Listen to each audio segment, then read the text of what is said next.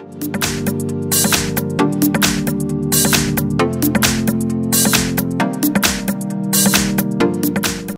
I have Samsung Galaxy S10e and let me show you how to perform a hard reset through the settings on the following device.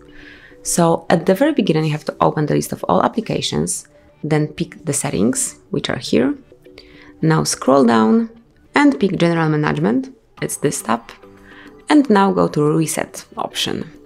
As you can see here you have several options, but if you want to perform a hard reset, a factory data reset, just select the last one, so it will reset your phone to its factory default settings, it will erase all data, including files and downloaded apps. So select it, and as you can see there is a whole list of the things of the data that will be deleted, so it will include Google account, system and app data, the settings, downloaded apps, music, pictures, all the user data, service provider apps and content, and the decryption key for files on the SD card. And also your Google account, which is in my case hard reset info 1. And if you truly want to do it, just tap on reset to confirm your decision. You have to do it one more time because this operation cannot be undone and it will it will delete all your personal data, all your information.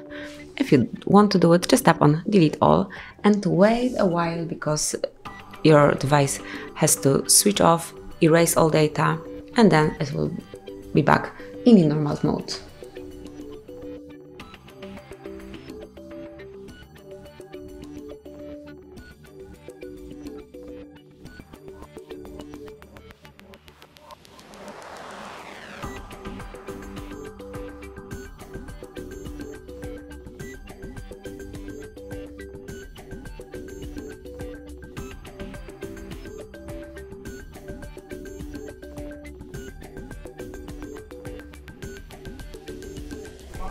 And that's it. Now you can set up your device, you can ch check the language, select the language and all the other settings.